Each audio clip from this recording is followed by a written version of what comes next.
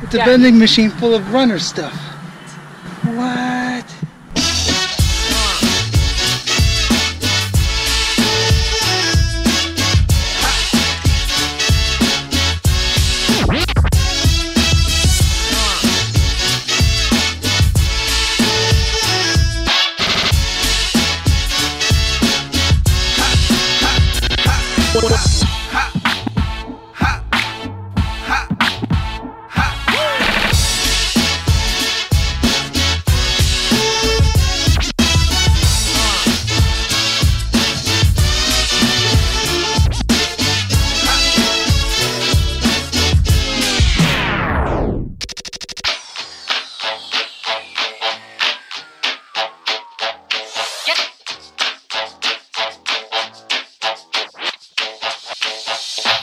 Making with jive, boy. When it hits you, yes, indeed. Yes, yes. Yes, you shine. When it hits you, yes, indeed. Yes, yes. yes. When it hits you, yes, indeed. Yes, yes. Yes, you shine. When it hits you, yes, indeed. Yes, yes, indeed. Yes, you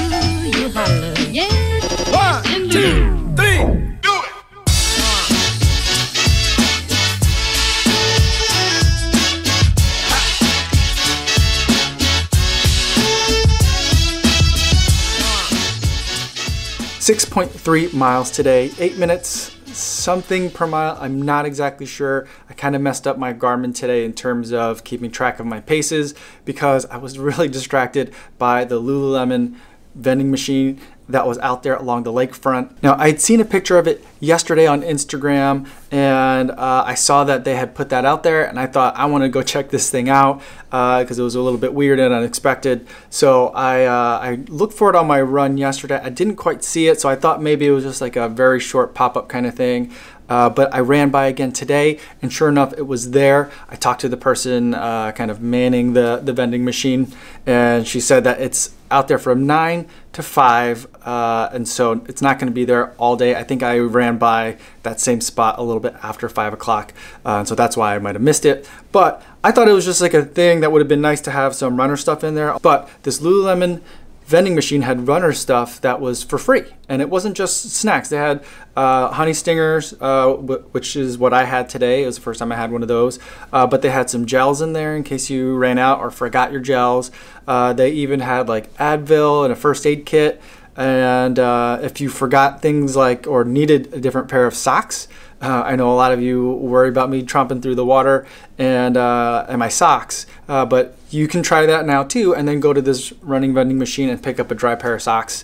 Uh, they had hats too, in case you forgot your hat, uh, and so you could. There's a lot of stuff in there, and it was all free. I was expecting, or at least hoping, that I could pay for it with my phone, uh, but it was free. That was out there, a nice little thing that Lululemon Chicago is doing. So very happy about that. It'll be out there. I talked to the person there. She said it'll be out there, like I said, from 9 to 5, which I think most of you watching this aren't going to be able to go check it out during those hours, but I think it'll be there on the weekends, those same hours. Uh, and I, she said it was going to be out there till mid October. I don't know if that just means till after the marathon, which is October 7th.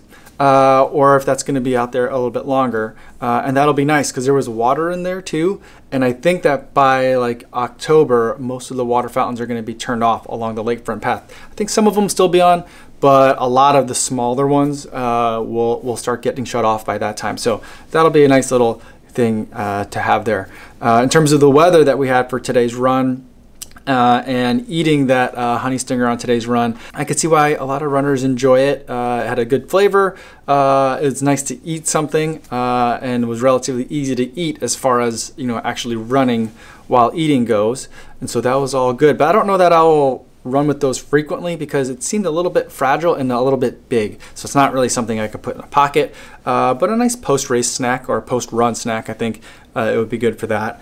Uh, the weather that we had today was just absolutely gorgeous. It was in uh, the 50s or 60s, I think, uh, and perfect for just shorts and a t shirt running out there. I wanted it to be a little bit more of a recovery run, but The weather was just so nice. I just kind of went with it uh, and had a really good time out there today. Uh, we actually had zero wind on the run today, which is extremely weird for Chicago, especially as uh, the seasons change. At the change of the seasons, the winds just start whipping around and they're crazy and unpredictable and tend to give you a headwind on both directions, out and back on your runs. So that's just the way the weather goes here.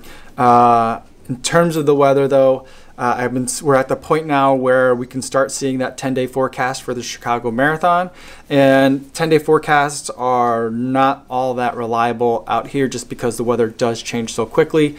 Um, for example, I, uh, I tweeted earlier today, or yesterday, I think, that uh, I was walking around downtown for lunch and on um, a little digital sign there was you know that normally has ads.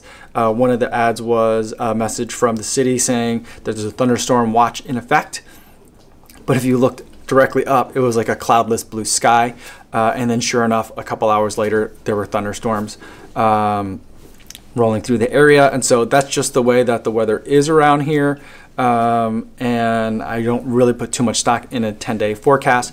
But uh, I probably will from this point on uh, do, do two things. One of the things is every video from now on uh, to the marathon is probably going to talk about weather in, some way, or at least the weather forecast in some way. Uh, and so far, it looks like it's going to be relatively comfortable running conditions, although there's a chance of of rain. I don't think there's a chance of thunderstorms, but there's a chance of rain. Um, so that's a possibility as of now, this far out. Um, so that's probably going to change as we get closer. But the other thing I'll do is as we get much closer to the race and have a better idea of what the weather is going to be like, uh, I'll put together a video talking about what I'll be wearing both you know to the race, in the corrals, and during the race in terms of how uh, the weather is going to affect both uh, what I wear and also some of my pacing strategies and things like that. So definitely hit the subscribe button if you want to see any of those videos uh, or updates leading up to the marathon. Uh, I think that's about it. That's all I have for, for today's video. Thanks so much for watching, and I'll see you guys tomorrow. Yo, what's going on?